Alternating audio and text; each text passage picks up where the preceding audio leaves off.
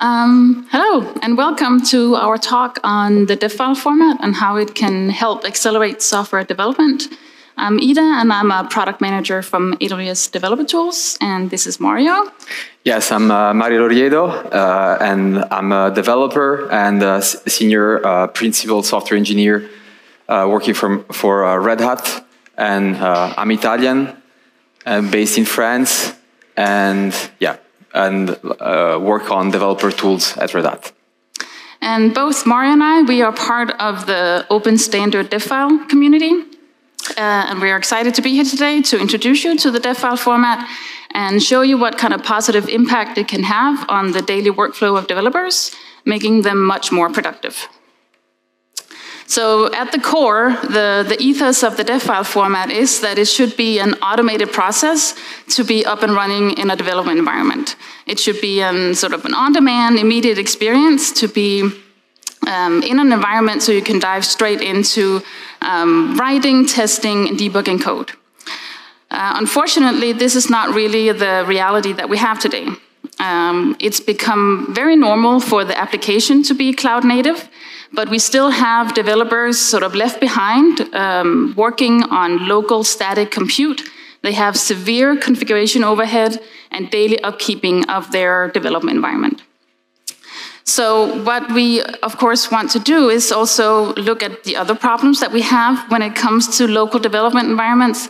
So all this, the, um, the tooling that you need to contribute to a project, uh, they're version specific to, uh, to a project. So this effort of getting set up is not just a one-time experience. Uh, every time you want to switch to a new project, you're again stuck with this manual setup.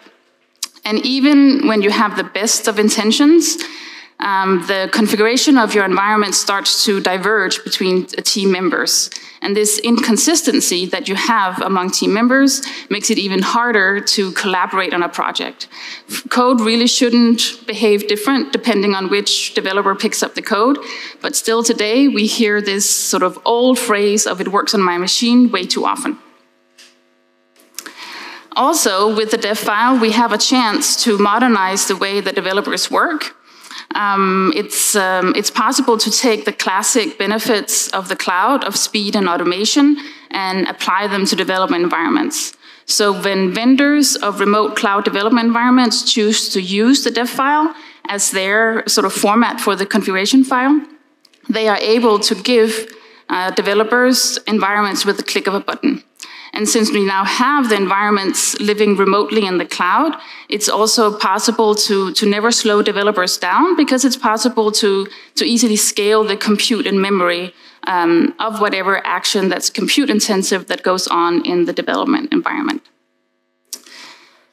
So this means that all these problems, we have um, a solution to it by the dev format.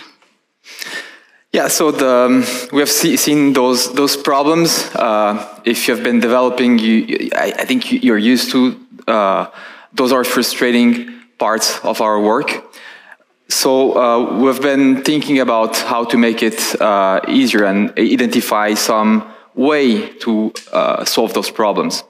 And uh, the main idea is to make development environment as code, so to define them uh, with, uh, to define them with a source code file that can be versioned on with, with your uh, project. So and the idea is that we need to make them uh, re repeatable. So the development environment need to be repeatable through automation rather than uh, um, configured manually and uh, error prone. Uh, they should be short-lived and purpose-built. So you, you don't need to uh, continue updating your your development environment. You just can uh, continue, you can just start a new one when you need to switch to a new branch or to, to a new project. You don't need to uh, use Git or um, try to install uh, some dependencies of your new project or your new branch that will conflict with the uh, old dependencies that you had uh, installed locally. And the third thing is, so what Ida also introduced is um, development environment should be scalable. Sometimes you need more memory that your laptop has or, uh, or, or more CPU. With your laptop is hard to scale, so you, you, you, need to buy a new one or to buy more RAM. On the cloud, it's much easier. Uh, you can you can uh, scale with, uh, with, with a few clicks. So this is to introduce um, the dev file. So the dev file is a file format, so a YAML file that is supposed to uh, live with your source code. Uh, this is a, an example of a dev file used for uh, Go development. It's a really a simple one, the simplest dev file that you can have. Just have a an image that is referenced is the default image for Go. Uh, and it's in the, you can find it in the, in the source code at the root, call it .dev file, YAML. So, so this is the, the convention that uh, we are, we're using. But the, the dev file uh, specification um, has more fields, much more fields.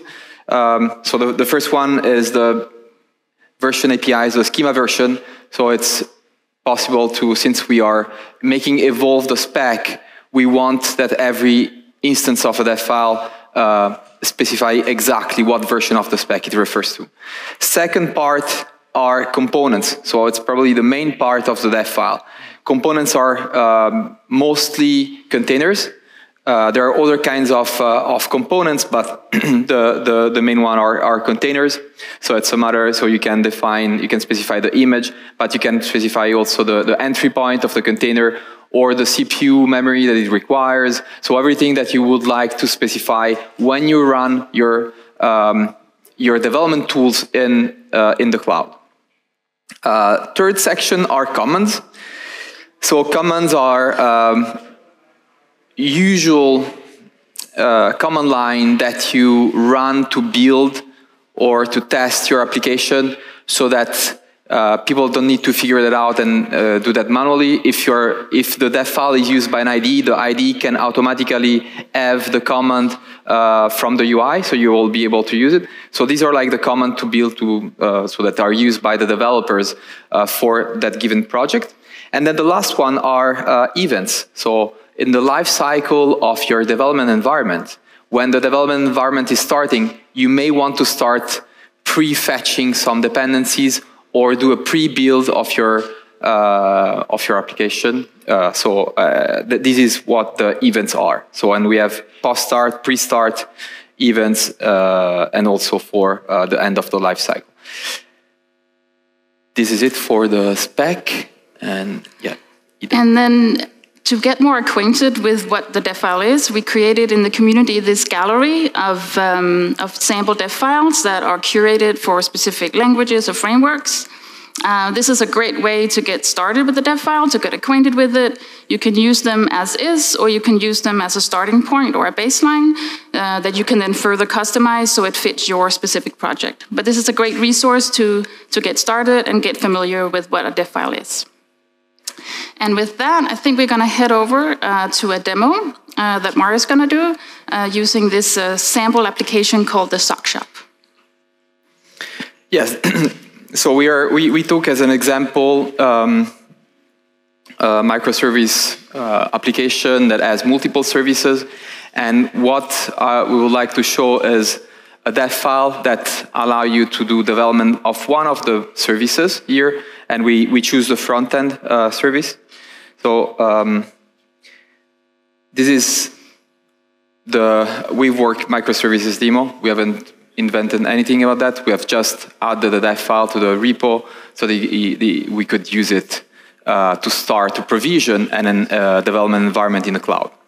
So this is uh, this is the, the organization with uh, all the repositories, and there is the front end one uh, that I fork, uh, and where I actually added a dev file here. And not only I have added a dev file, but also added in the README uh, this link that allow me to start a development environment from with a click here. So let's just open it. All right, so that will start, um, it will provision the containers that are described in the dev file. Um, they, they will be started in the cloud and um, we'll, we can see here is actually a, a dashboard. Let me make it a bit, bit bigger. This is, it's running on, uh, on Kubernetes. This is OpenShift, so Red Hat uh, distribution of, uh, of Kubernetes. And this is actually the, um, the pod where the development environment is running. So now it's, it's say that it's running. So if I go back uh, to my IDE, I can see that, all right, so it's, uh, it has been created so it's been, started. So I have uh, Visual Studio Code running in my in my browser. Uh, we have. Uh, let me just show you a little bit bigger. So this is uh, so just plain vanilla uh, Visual Studio Code. It's um, it's running in the browser, but it's exactly the same source code of Visual Studio Code. We're just repackaging it and running it in uh, in a container with some, uh, so we usually continuously rebased it. But the, the, the editor, so the, we'll see that later, is, is not defined in the dev file. The dev file is really decoupled uh, from, from the, the editor that will, will run. The important thing is that you need somehow to connect to that, uh, to that development environment. And Visual Studio Code in this case is the way to connect uh, to the pod and containers where I actually have my uh, build tools. So if we go back, so if I, have I've cloned here um, the source code of the front end, and uh, there is a dev file. So the dev file is here. You can see that uh, it has a one component for for the front end. Uh, it's uh, it's a container with uh, that is related to the is actually the microservices demo front end that is based on the Dockerfile dev that I've that I've here. So it has a, a Node.js, so I will be able to actually start the front end uh, from the command line. Uh, something else that I wanted to show is um, yeah the source code. I can just open uh, this JavaScript file and uh, I I can show that some, since so here the it's Visual Code, so there is the, the TypeScript uh, extension that is uh, already included, so I don't have to install anything here. Um, but I have, so I will have, I have uh, code completion. If I do that, and I can.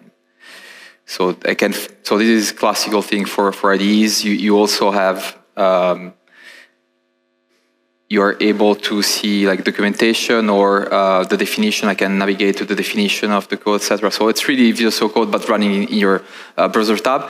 And you, I didn't have to install anything locally. Didn't have to install Studio Code. Didn't have to install uh, Node.js, and I was able to uh, to have that uh, on the fly. Um, other thing that I wanted to show is that once you, so not only you have the code, but you're also able to run. So you have, you have a container with Node.js.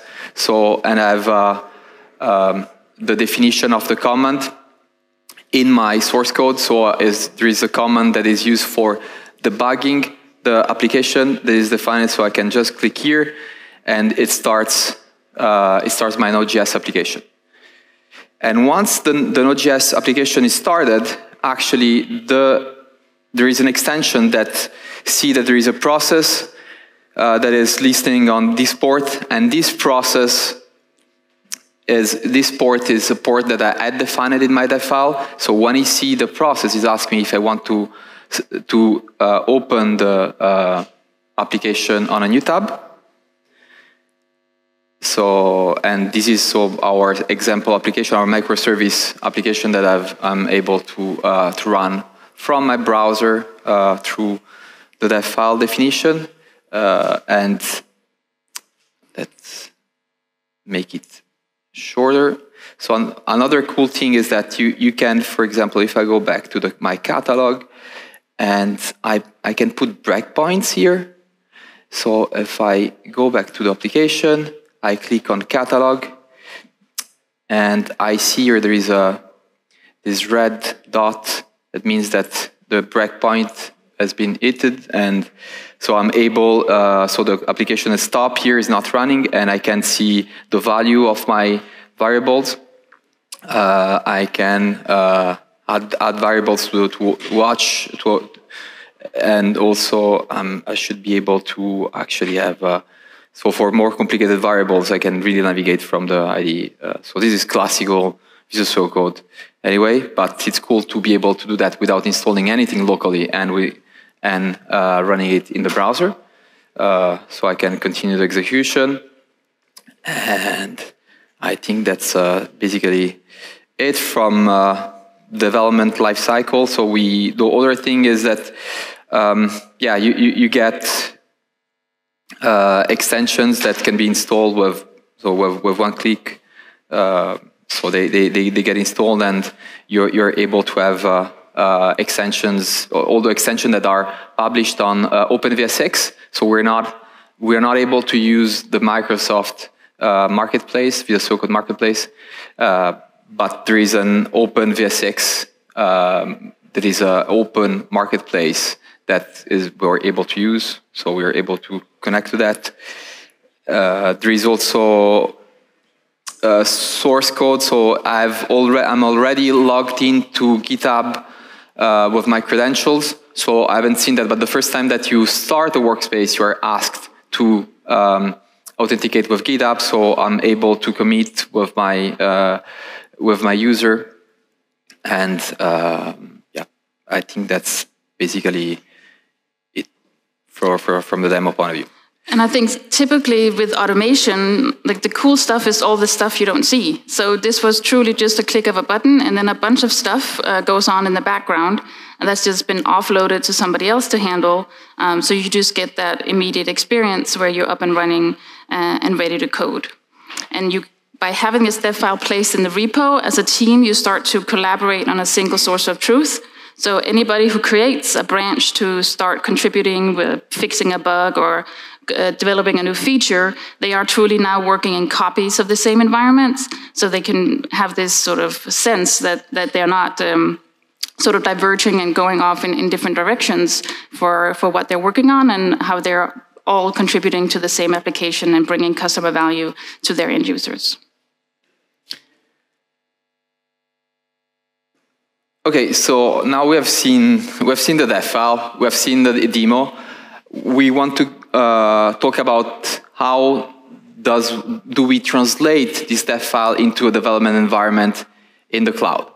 Uh, so what I've just shown is um, on Kubernetes. So Kubernetes is, is a platform, and we use uh, something that is called the dev workspace operator. So it's a Kubernetes operator uh, that uh, provision development environment. And I have, uh, I have another talk later today uh, just about the, the dev workspace operator, so I won't talk too much. But the idea is from the dev file, the dev workspace operator creates a workspace pod, so a pod with uh, containers and services that will allow a developer to connect uh, from their browser and to just code uh, build and test their application, so the, the, the inner loop.